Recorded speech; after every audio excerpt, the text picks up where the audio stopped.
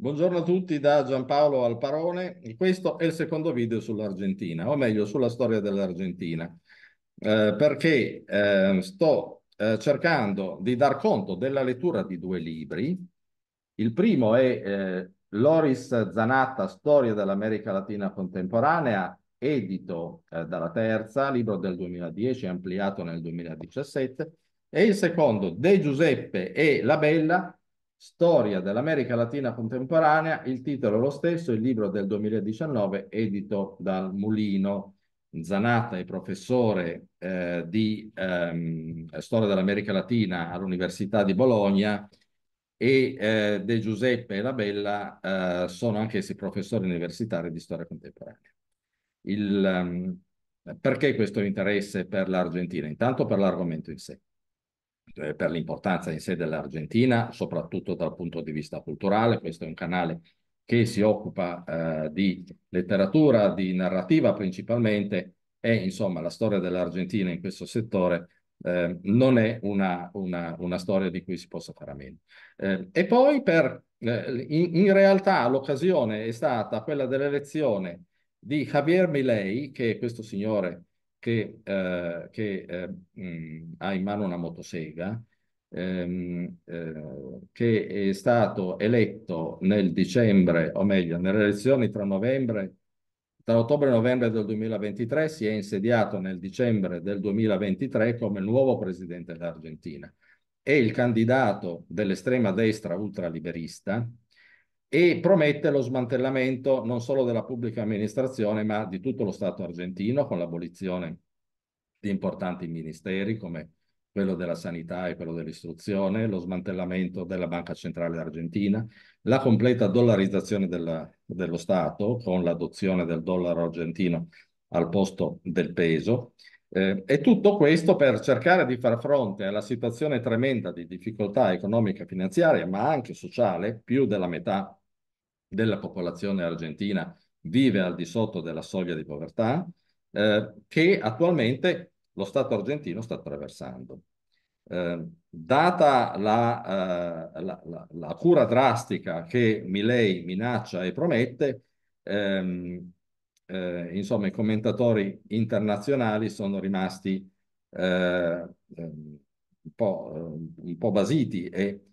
ehm, e, sì, eh, c'è la paura che la cura sia peggiore della malattia. Adesso è molto poco tempo che Milei si è insediato alla presidenza, poco più di un mese, quindi eh, è molto presto per fare dei bilanci, delle valutazioni. Eh, vedremo eh, che cosa succede. Però al di là di quella che è la, ehm, la cronaca della politica internazionale, il senso di questi interventi era quello di non dico di provare a capire, eh, perché eh, è un compito troppo grande per le mie risorse, ma eh, almeno avere degli spunti di, inter di, di, interpretazione di questo tipo di situazione, di come si sia arrivati in Argentina a una situazione di questo tipo, ripercorrendo la storia dell'Argentina, attraverso la lettura di questi due libri. Eh, nel mio primo video avevo provato a esporre quelli che eh, Zanatta e De Giuseppe Labella indicano eh, come eh, i, i, peccati originali dell'economia argentina, della struttura dello Stato argentino, che sostanzialmente si riconducono in primo luogo all'origine coloniale dello Stato e alla formazione di una struttura economica tipicamente postcoloniale, ossia di dipendenza eh, dalle esportazioni del settore primario, beni agricoli, beni minerari, a cui si aggiungerà l'esportazione tra la fine dell'Ottocento e poi per tutto il Novecento della carne bovina di allevamento, che è il principale bene eh, del settore primario esportato nel Novecento dall'Argentina, nei confronti di un partner europeo che prima era la Spagna imperiale e poi lentamente sostituita, gradatamente costituita, sostituita nel corso dell'Ottocento dalla Gran Bretagna. E questa situazione ha avuto dei pregi e dei difetti. I pregi sono stati che eh, nessun altro paese come l'Argentina si è dimostrato così forte in questo modello, nell'esportazione di beni agricoli ehm, nei confronti eh, dell'Occidente europeo e questo ha portato all'Argentina un enorme benessere economico e finanziario ehm, e ha creato eh, ricchezza in Argentina e ha fatto sì che l'Argentina diventasse all'inizio del Novecento un paese molto florido dalle prospettive economiche ehm, molto ottimistiche. Ehm, si riversarono in Argentina ehm, milioni eh, di eh, eh milioni no, eh, migliaia di eh, immigrati, soprattutto dall'Europa e soprattutto dall'Italia. ci fu un enorme incremento demografico, si crearono grandissime città, soprattutto i porti e soprattutto Buenos Aires, che all'inizio del Novecento era già una megalopoli. Eh, come sempre succede, il benessere economico eh, ebbe come contraltare la crescita delle istituzioni la crescita virtuosa delle istituzioni statali, l'Argentina. Tra il 1910 e il 1930, che è stato un po' il periodo migliore dal punto di vista delle istituzioni politiche, ebbe un governo eh, sostanzialmente con a capo Irigoyen, direttamente o per interposta persona, in cui eh, sembrava che lo Stato avesse imboccato la via dello sviluppo eh, delle, stabile delle istituzioni moderne, democratiche e parlamentari. Eh, l'aspetto negativo è che questa, questo modello economico comportò negativamente il mancato sviluppo del mercato interno, il mancato, l'asfittico sviluppo del settore secondario industriale. Quindi un, uno sviluppo molto forte, molto ricco ma asimmetrico. Primo peccato originale della storia economica del sistema argentino. Nel 1930 poi questo sistema in effetti si bloccò per via della eh, crisi della Grande Depressione eh, partita dagli Stati Uniti e poi estesa anche all'Europa che bloccò i flussi, bloccò o ridusse per un periodo in, in realtà non così lungo, ma comunque in modo significativo i flussi del commercio internazionale. E allora si imboccò l'Argentina per un verso imbo imboccò la via dello sviluppo eh, nazionalistico con l'idea di far crescere di importanza eh, l'intervento diretto dello Stato nell'economia. Per altra via, sul piano politico, poiché sempre la politica è il contraltare dell'economia, il, il, governo democratico eh, di, eh, rappresentato eh, da Irigoyen, diciamo come persona di riferimento, venne spazzato via e iniziò il triste periodo del, dei, dei governi militari autocratici, dei golpe, dei colpi di Stato militari. Ehm, e si arriva in questo modo, il periodo, questo periodo degli anni, diciamo, dal 1930 all'inizio degli anni 40 è chiamato la decada infame in Argentina perché si bloccò tutto. Eh, si arriva, arriviamo in, in, così in rapidissima sintesi al momento in cui compare sulla scena politica dell'Argentina quello che è l'uomo di riferimento della storia argentina del Novecento, Juan Domingo Perón, che ehm, compare per la prima volta nel 1943 in veste di sottosegretario del ministro della guerra, dell'allora ministro della guerra, e poi successivamente, in un successivo colpo di Stato militare, i militari in questo periodo si facevano dei colpi di Stato uno addosso all'altro, ehm, in un nuovo governo del 1944 tra i promotori del colpo di Stato, ehm, tra gli alti ufficiali, erano generali, che ave, no, forse era colonnello però, che, era, eh, che eh, aveva promosso il colpo di Stato e ehm, sostanzialmente ehm, Peron assume la uh, carica di ministro del lavoro e ehm, diciamo eh, si costruisce una carriera politica eh, con un'azione politica eh, rivolta prevalentemente ai lavoratori, eh, ai proletari eh, urbani dell'Argentina. Quindi si costruisce un larghissimo seguito ehm, popolare ehm, tra i lavoratori eh, delle grandi città e anche, ehm, ehm, e anche dai, dei, dei sindacati. C'è un ampio sostegno anche da parte sindacale di Peron. Peron eh, uomo politico molto abile, in poco tempo eh, si eh, costruisce una personalità eh, carismatica da un punto di vista politico e si pone come gradatamente come leader sempre meno discusso della politica argentina. Nel 1946 ci sono delle elezioni e, il, eh, e Peron, il, il, il neocostituito partito di Peron, eh, con un, un effetto di sorpresa e uno shock molto forte per la parte dei conservatori, ottiene la maggioranza assoluta dei voti. Di lì in poi Peron governerà eh, per un decennio, fino al 1955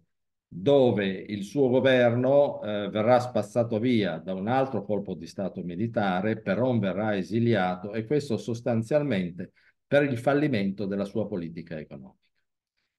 Allora, cercando di eh, sinte sintetizzare, che non è cosa molto semplice, quali eh, furono le caratteristiche politiche e economiche del, dei governi di Perón? Innanzitutto eh, i suoi governi ebbero una fortissima impronta sociale, eh, che sarebbe eh, ingiusto e eh, frettoloso liquidare semplicemente come, come demagogica, come spesso accade. È vero che quello di Peron fu un governo autoritario, fu un governo forte, che sostanzialmente spazzò via tutte le istituzioni statali, e però un po' come sul modello di Mussolini, eh, si pose come il tramite diretto tra il potere e il popolo. Eh, in, in, in, questo quadro eh, porto avanti una politica eh, in parte demagogica e populista, ma in effetti fortemente redistributiva ehm, di reddito eh, nei confronti della classe dei lavoratori, con un fortissimo incremento dei servizi eh, erogati direttamente dallo Stato in termini di assistenza eh, scolastica, sanitaria, creazione di, di, di, costruzioni, case, insomma ci fu un effettivo e forte effetto redistributivo della ricchezza nel periodo ehm, peronista a favore delle classi lavoratrici. Dall'altra parte, urbane, dall'altra parte però si poneva come elemento di garanzia nei confronti dell'esuberanza politica della, eh, dell'importante e, e, non dico solo nascente, ma insomma eh, cresceva progressivamente perché l'Argentina era un paese ricchissimo in quel periodo. Ehm, perché era un paese ricchissimo? Eh, perché eh, il mondo veniva fuori eh, a metà degli anni 40 dalla crisi, dalla fine della seconda guerra mondiale. L'Europa ma comunque tutto il mondo si era fortemente impoverito, l'Argentina era forte della disponibilità di prodotti agricoli e della disponibilità fortissima di carni. Ehm, e quindi ehm, le esportazioni dell'Argentina verso il resto del mondo occidentale funzionarono benissimo. Lo Stato, ehm, che già era eh, ricco per il periodo precedente, le casse dello Stato si arricchirono ulteriormente, l'economia argentina ehm, eh, visse un periodo mh, di grande prosperità. Sulla base di questa prosperità finanziaria, eh, di questa disponibilità eh, per una politica fiscale espansiva, eh, è esattamente quello che fece Perón, per cui promosse una politica sociale molto forte eh, politica sociale molto forte che eh, gli valse un enorme consenso popolare. Eh, lui capitalizzò politicamente questo consenso, non solo lui, ma anche eh, la moglie, eh, la, la, famosissima eh, Eva Peron, Evita Peron, che non fu solo la First Lady, ma ebbe anche un ruolo importante nel, nel, nell'ambito di questa politica. E ehm, sostanzialmente si creò uh, una, eh, in Argentina ehm, una, una, pubblica amministrazione eh, molto grande, eh, molto forte e, e molto costosa, con degli interventi diretti nei confronti della popolazione che aumentarono sicuramente i livelli di vita, aumentarono enormemente i livelli di spesa. In un primo periodo ehm, il bilancio statale poté permettersi queste spese importanti, la creazione di un vero sistema di welfare eh, state in Argentina con eh, un'incidenza delle spese per il welfare sul totale del prodotto interno lordo tra, e, tra i più alti al mondo. Eh, dopodiché però la, la, la, situazione iniziò a cambiare eh, anche perché col piano Marshall ci furono importanti investimenti finanziari degli Stati Uniti nei confronti dell'Europa. E eh, gradatamente, diciamo, eh, il peso di tutta questa politica fiscale espansiva e redistributiva eh, cominciò a pesare sempre di più fino a rivelarsi insostenibile. Il bilancio dello Stato iniziò ad andare in deficit e eh, il, la politica del governo peronista rispose con quello che è la risposta classica storicamente in questi casi, la creazione di, nuovo, di nuova moneta per finanziare il bilancio dello Stato. E quindi alla, diciamo, al problema del, del, del, del, deficit del bilancio statale si aggiunse il problema di una fortissima inflazione. Um, la politica uh, sul piano industriale um, ci furono anche importanti interventi del governo di Peron, il clima era quello ereditato ancora dalla crisi della Grande Depressione, il, la moda politica era quella del nazionalismo, anche in questo caso Peron si eh, ispirava un po' a quello che era stato il modello mussoliniano degli anni venti, eh, diretto a una politica di tipo autarchico dal punto di vista economico, e però fece degli investimenti importantissimi e molto dispendiosi, soprattutto nel campo delle nazionalizzazioni eh, nazionalizzando e quindi acquistando, il, riacquistando sostanzialmente per quello che era successo in passato il sistema ferroviario argentino che era di proprietà dello Stato britannico,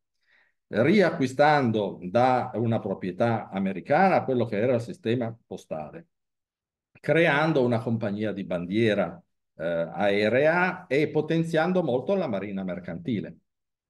Interventi dispendiosissimi che gravarono sul bilancio dello Stato enormemente. Cercò anche di avviare una politica eh, industriale che tuttavia non decollò mai, ehm, ehm, mirata soprattutto alla creazione di un comparto manifatturiero leggero. Ma la sostanza dell'eredità che lasciò alla fine eh, il periodo peronista, che terminò proprio per le sue eh, difficoltà che si rivelavano insormontabili, il, Peron fece, i governi di Peron fecero eh, eh, l'errore più importante fu quello di sottovalutare il settore primario, che fino a quel punto aveva costituito il motore dello sviluppo economico argentino, che venne messo in secondo piano. Eh, l'eredità politica che lasciarono i governi di Peron fu quella dell'enorme deficit pubblico e della crescente inflazione. Ehm, per questo motivo il suo governo andò in crisi, nel 1955 ci fu un colpo eh, di Stato militare eh, e eh, però fu mandato in esilio, andò in esilio in Spagna. Pur rimanendo, pur nell'assenza, una personalità molto importante e determinante nell'ambito eh, del corso della politica argentina, e pur rimanendo il suo partito, pur messo ai margini della vita politica dopo il colpo di Stato militare, eh, di, di, fatto il, il partito che raccoglieva la maggior parte dei consensi del popolo argentino. Si aprì un, un nuovo periodo eh, dal 1955 in poi, con un colpo di Stato che si proclamò rivoluzione, chiamandosi Rivoluzione Libertadora, ehm, e che ehm, ehm, mirò un'inversione di rotta della politica economica che ehm, lasciò il filone nazionalista e puntò a una apertura al, al, al commercio internazionale e soprattutto alla ehm, all'ingresso di, eh, di eh, dei capitali, eh, nelle porte di capitali esteri, no? che, in cui si vedeva un po' il nuovo motore di quello che poteva essere lo sviluppo. Ehm, tuttavia, il fatto di basare la eh, le, i programmi di sviluppo dello Stato sull'afflusso di capitali esteri rendeva, era evidentemente un elemento di debolezza del progetto, del progetto di politica economica, che però almeno inizialmente fece degli investimenti importanti, soprattutto in ambito industriale, non più nel settore ehm, della manifattura leggera, che era quello su cui aveva puntato Peron e che non era mai decollato, ma sulla eh, sull'industria di base e soprattutto in campo petrolifero si furono degli eh, interventi importanti. La figura politica di riferimento ehm, che dominò la scena eh, politica tra la fine degli anni, la seconda metà degli anni 50 e l'inizio degli anni 60 fu Frondizi. Ehm,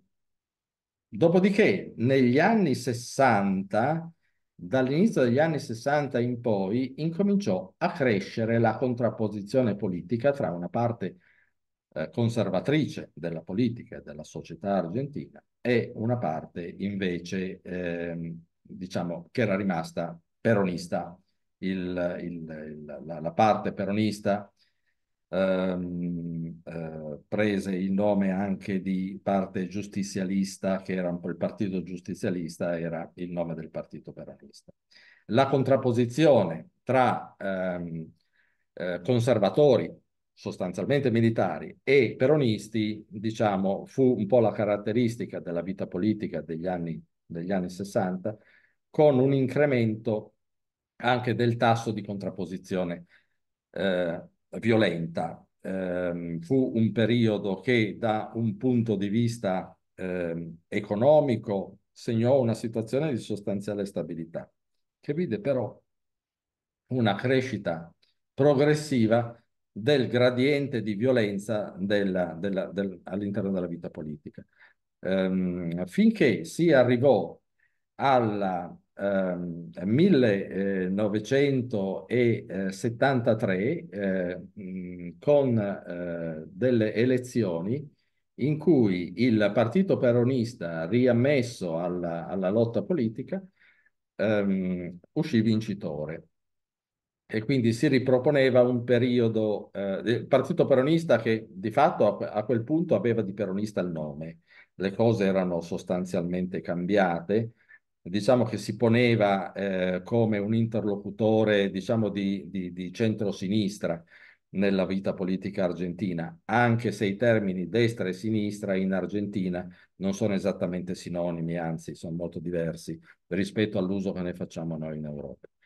Tra prime, eh, i primi provvedimenti del nuovo governo peronista eh, ci fu quello di far rientrare eh, Peron in Argentina, quindi di, di toglierlo dall'esilio però ormai ottantenne rientrò in Argentina, eh, l'unica cosa rilevante che fece fu morire ehm, e lasciare sostanzialmente il, eh, il, la dirigenza del partito e quindi del paese alla seconda moglie, ehm, Isabelita.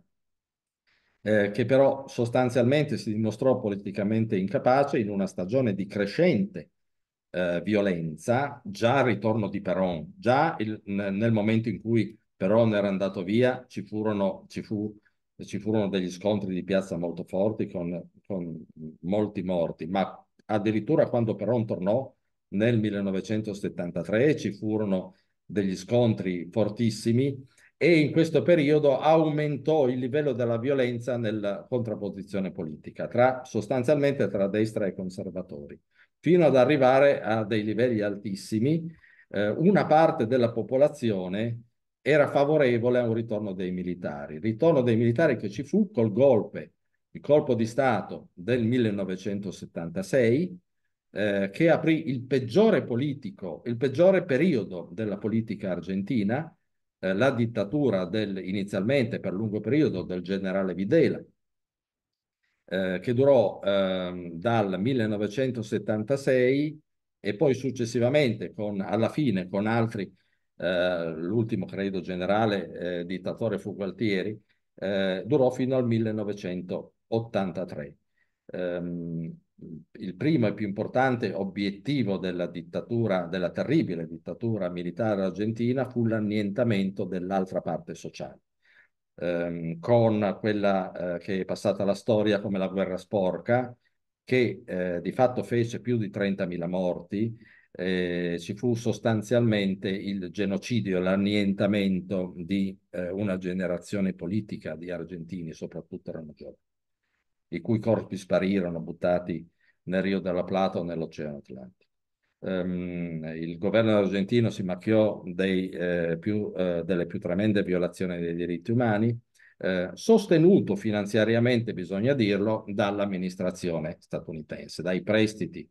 degli Stati Uniti, prestiti, ehm, sì, prestiti anche, ehm, che passavano anche attraverso istituzioni eh, sovranazionali eh, amministrazione, l'amministrazione che sostenne eh, il colpo di Stato militare fu quella eh, repubblicana di eh, Kissinger e Gerald Ford, poi non smentita però nella sostanza dalla successiva amministrazione democratica di Jimmy Carter.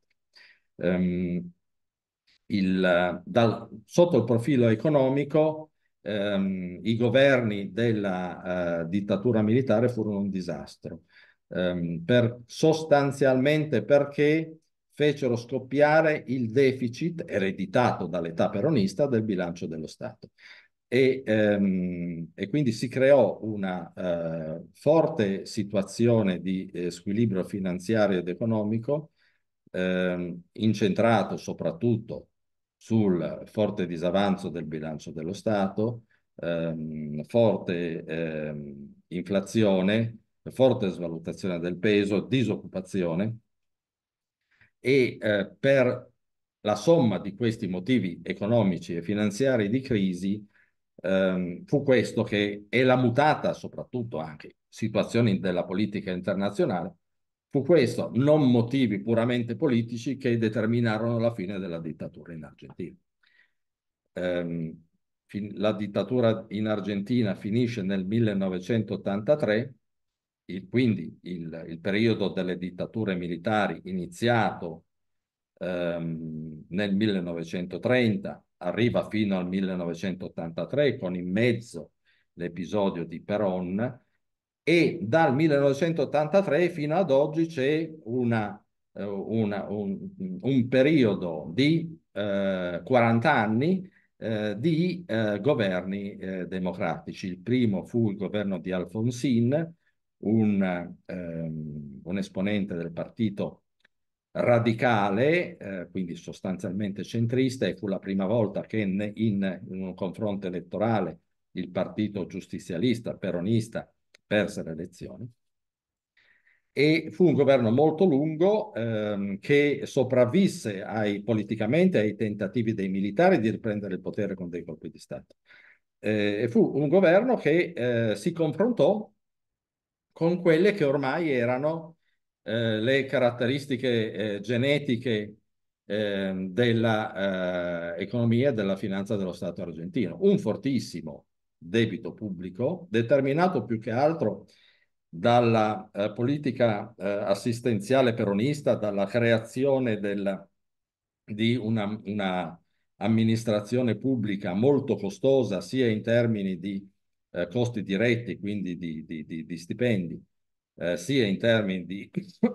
costo dei servizi erogati, ehm, e eh, una, un, un, un, un, crescente eh, squilibrio in termini eh, monetari con la svalutazione della moneta, un, crescente, una crescente inflazione. Diciamo sostanzialmente eh, tutte le caratteristiche eh, di base della crisi economica dell'Argentina di oggi, a cui però si aggiunsero delle, degli altri capitoli molto importanti ehm, e, e che, fu, eh, che, furono sostanzialmente determinati dalla eh, crescente dipendenza dell'Argentina ehm, rispetto alle crisi finanziarie dei mercati internazionali. Ormai l'Argentina con i nuovi governi democratici imboccarono la via eh, dell'inserimento nella comunità economica e finanziaria occidentale, stato indebitato che aveva bisogno del sostegno delle eh, finanze internazionali per sopravvivere e ehm, eh, sostanzialmente eh, le, le, diverse crisi che ehm, ehm, interessarono i mercati finanziari internazionali, la crisi messicana, la crisi del 96-97 della crisi asiatica, che portavano delle perturbazioni molto forti sui mercati finanziari internazionali, ricadevano in primo luogo su quei paesi che più erano dipendenti dai flussi eh, finanziari eh, che eh, arrivavano dalla finanza internazionale. E ehm, il sistema argentino, che già da un punto di vista dei fondamentali economici eh, pativa eh, i problemi che abbiamo detto prima, in primo luogo il peso delle finanze dello Stato e poi comunque eh, tutti gli squilibri che eh, dal deficit statale eh, derivavano, la svalutazione del peso, l'inflazione, eh, e progressivamente il, la crescita anche della disoccupazione, ehm, il sistema argentino, sempre più dipendente dagli equilibri finanziari internazionali, via via andò in crisi. Ehm, eh, diciamo, eh, dal dopo Alfonsin, quindi dagli anni 90 fino adesso, si, sono, si è succeduto un lungo periodo di ehm, dominio politico del partito peronista, che ormai peronista ha solo più di Perón, ha solo più il nome. Eh, negli anni 90 ci fu la lunga presidenza di Menem, eh, dopodiché eh, ci fu un periodo di transizione con Duarte sul volgere del millennio e poi ci fu l'età di Kirchner dal 2000, dai, dai primi eh, anni del, anni zero del 2000, prima con Nestor Kirchner e poi con la moglie ehm, eh, Cristina. Eh, quindi un predominio peronista con una classe politica ehm, accusata probabilmente a ragione ehm, di un elevato tasso di corruzione e anche di connivenze con organizzazioni eh, mafiose. Ehm, è sostanzialmente incapace di adottare una politica che sotto il profilo economico eh, segnasse un'inversione della linea di tendenza ormai eh, quarantennale, cinquantennale di quelli che sono i grossi problemi dell'Argentina. Quindi una, una situazione che dal punto di vista dei fondamentali economici progressivamente peggiorò. Non fosse che la crescente esposizione del sistema argentino alle crisi ripetute della finanza internazionale provocò dei disastri, dei disastri enormi. Il più importante è quello del 2001, la dichiarazione di insolvenza del debito sovrano. Ricordo che sul volgere del, tra fine del Novecento e inizio degli anni zero del 2000 le banche italiane vendevano le vecchiette ai risparmiatori le obbligazioni argentine perché in effetti ehm, presentavano un tasso di rendimento decisamente più elevato rispetto a quello dei titoli di Stato. Sì, grazie. E infatti nel 2001 lo Stato argentino dichiara l'insolvenza ehm, e i creditori eh, che erano anche creditori eh, come i nostri risparmiatori privati ehm, eh, eh rimangono eh, col, col, debito insoluto. Eh, nei dieci anni successivi poi ci saranno una serie di tentativi in parte riusciti, ehm, di eh, ristrutturazione di questo debito, in qualche modo per ricreare, e, e, e, il compito fu impossibile, una sorta di verginità finanziaria da presentare ai mercati internazionali, cosa che non riuscì. E, ehm, e insomma, la situazione eh, sostanzialmente, la situazione politica ed economica fu questa. Ormai una serie di problemi eh, incancreniti dal punto di vista economico e finanziario del sistema paese, il, il, il disastro dei rapporti con la finanza internazionale, una classe politica, poi dopo Cristina Kirchner ci fu un cambiamento per cui l'ultimo importante presidente in effetti fu un presidente, è stato un presidente di destra, ehm, dopo Cristina Kirchner, Maurizio Macri, ehm, ehm, però sostanzialmente le cose non cambiarono. Eh, fino ad arrivare all'epoca Covid dove la situazione precipitò, è precipitata. Ehm, tutti i fondamentali delle, dell'economia ehm, si sono inabissati, eh, inflazione a tre cifre, annuale a tre cifre, ehm, enorme disoccupazione, enorme debito pubblico, ehm, quote crescenti di popolazione che vivono in Argentina al di sotto della soglia della povertà, situazione disperata, ehm, che eh, a detta dei commentatori internazionali solo un miracolo eh, può cambiare. Il tema è se eh, Javier Milei è loco, è in grado di fare questo miracolo. Eh, la storia lo vedrà. Grazie a tutti, eh, a tutti, a tutti e a, soprattutto a quelli che hanno avuto la pazienza di arrivare fino in fondo di, questo, di questa mia prolusione. Mm, a presto.